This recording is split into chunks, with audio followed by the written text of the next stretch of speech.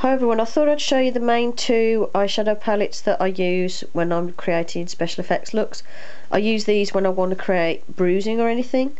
And by the way, ignore the state of my hand, I've just done swatches for uh, my blog post on the new Sleek palette.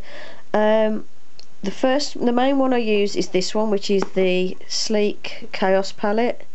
Now, if you find like one of those little stalls that sells like um, X stock from shops and stuff or or something like that, you might find this palette, but I can't see it anywhere in Superdrug or anything now.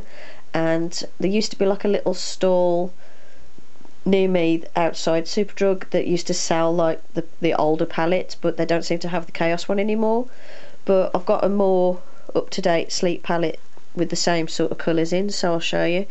Um, but yeah, this is the main one, which is the Sleek Chaos palette and if I, if I can open it one-handed. As you can see I've well used it. And the main colours I use are the black um, a touch of the blue a bit of the green and then this one which was like a red brown colour which as you can see is all gone. Sometimes I use that as well. So as you can see I've well and truly used this palette ignore the reflection that's just my painting on the wall upside down. Um, great little palette for creating bruises and effects.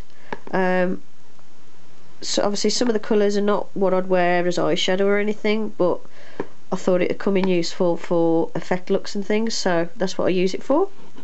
And then the other one I use is this one which is the Sleek Ultra Mattes oops upside down Ultra Mattes palette this came out fairly recently. I think you can still get it at Superdrug. I saw it the other day in my local Superdrug anyway. Um, and in here I'd use this colour which is like a red brown. It looks a bit lighter on camera but that's a great colour just for a bit of redness and soreness to the skin. And then it's got like a green and a blue. Um, basically you want sort of black, browny red, green, blue um, in matte shades you can use any palette you like, I just prefer the sleek ones because I only have to use a little bit. That's quite a useful colour as well, even though it looks like a bright turquoise on camera, it's actually quite a dark one. And I just add that for a hint of colour to the bruising. Um, and then it's got a couple of like sort of flesh tony colours as well as a bit of white. Um, so that's what I use to create bruising.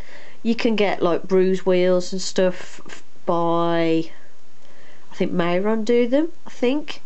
Um, me personally, I've never bought them. I tend to just stick with cheap products just because I haven't got the money to go buying loads of loads of expensive stuff, especially when it's not locally available or anything.